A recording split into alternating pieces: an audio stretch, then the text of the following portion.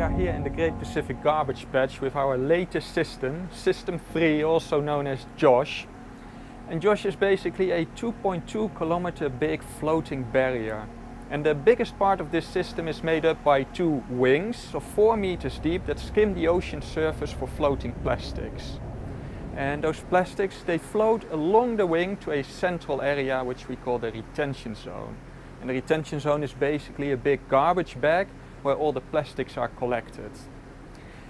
And this system is being towed through the ocean by two vessels, like the one I'm on now.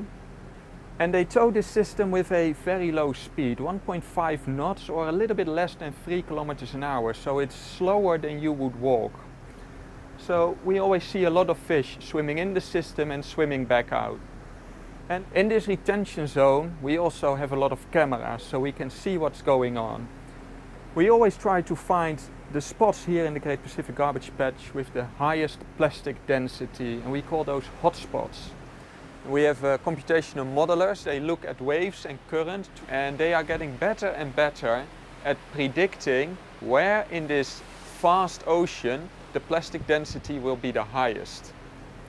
And after we've been out here for three or four days and have been collecting plastics, our garbage bag is getting full. So then we are going to do an extraction. And whenever we do an extraction, one of the two vessels towing the system is taking both wings on board so that the other vessel is free to go to the rear and it will then tie off the garbage bag and pull it on deck. We open it up and we dump all the plastics that we found on the deck.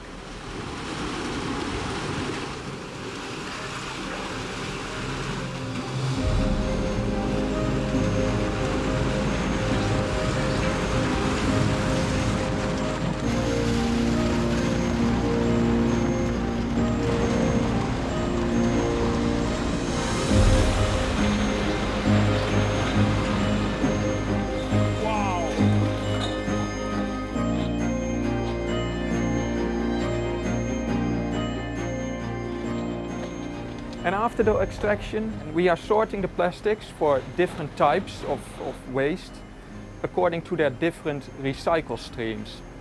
And we put the system back in the water and we continue towing for plastics.